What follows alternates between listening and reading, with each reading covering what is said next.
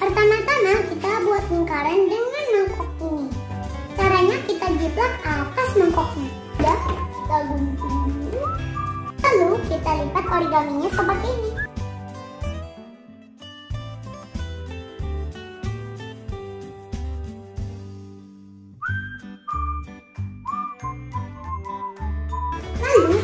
gunting kertasnya menjadi baling-baling seperti ini.